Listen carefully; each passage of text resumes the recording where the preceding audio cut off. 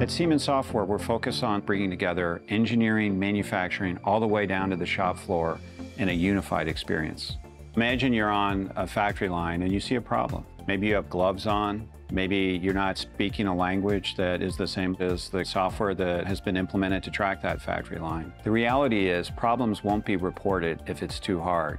AI allows problems to be reported in native language and automatically translated to the common language.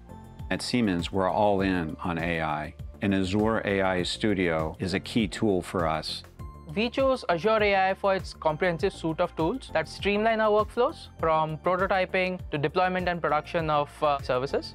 Prompt Flow's UI first approach accelerated our adoption of advanced machine learning technologies.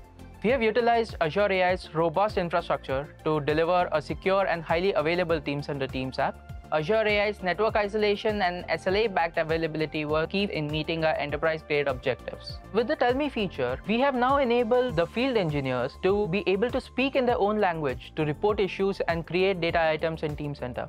We believe that now the field engineers will be able to feel more included in their workplace. The managers or the engineers responsible for resolving the issue can take necessary action steps we're anticipating more problems reported, better problems being reported, and faster resolution times. And using Azure AI allows us to do that.